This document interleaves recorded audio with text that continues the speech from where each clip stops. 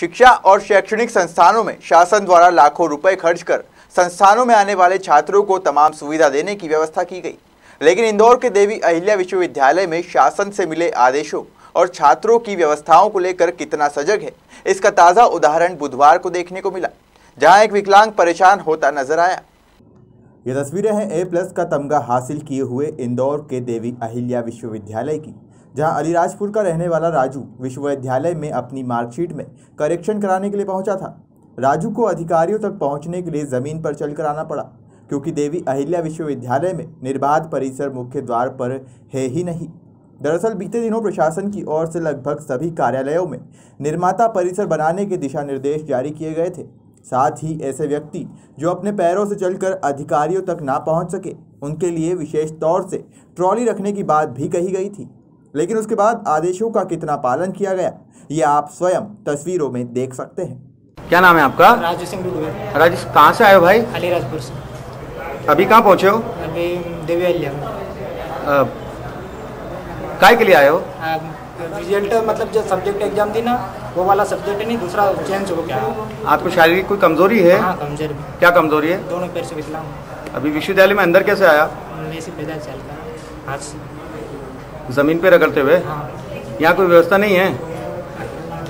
निर्बाधा परिसर होने की बात कही थी अधिकारियों ने। यहाँ पे कोई चेयर वगैरह नहीं मिली आपको? ऐसे आना पड़ता है? हाँ आपका नाम बताओ। राजू सिंह कहाँ से हो? अलीराजपुर। हालाँकि इस मामले में जब हमने कुलपति प्रोफेसर रेणु जैन से बात की तो उन्होंने अफसोस जताते हुए आगामी एक सप्ताह में कैंपस में सभी बिल्डिंगों में निर्बाध परिसर बनाने और ट्रॉली खरीदने के तत्काल आदेश जारी किए। नहीं, मुझे बहुत दुख है अगर आप ऐसी स्थिति बता रहे हैं तो और ये हमारे भी ध्यान में है। पहले भी इस पर एक दो बार चर्चा हुई, लेकिन क्योंकि मुख्य द्वार के आगे पास में कोई इस तरह की जगह नहीं थी, लेकिन अभी हमने चर्चा की है तो उससे ये समझ में आया कि टेम्परेरी रैम्प तो बना ही सकते हैं। जिसको जब भी कोई इस तरह का छात्र आएगा तो उसको लगा दिया जाए। गार्ड के पास अवेलेबल रहेगा, उसको लगा लेंगे। और अगर वो संपर्क करता तो गार्ड्स की मदद ली जा सकती थी।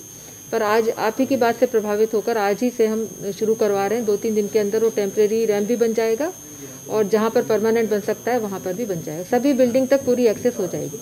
हालाँकि यहाँ पर एक है उसको बच्चे को पता नहीं होगा। बैक डोर की तरफ़ एक रैम बना हुआ है ऑलरेडी हाँ नहीं अगर बच्चा बताता तो हम लोग खुलवा देते उसको ये मेरा मतलब। अब देखना यह होगा कि हमारे द्वारा उठाई गई इस खबर में कुलपति ने तत्काल निर्बाध परिसर बनाने और ट्रॉली खरीदने के आदेश दे दिए हैं। क्या दिए गए आदेशों का पालन दिए गए समय में होता है या फिर राजू जैसे लोग अपनी मंजिल तक पहुँचने को लेकर इसी तरह परिश्रम करते देखे जाते हैं? इंदौर से शकील सिकंदर की रिपोर्ट।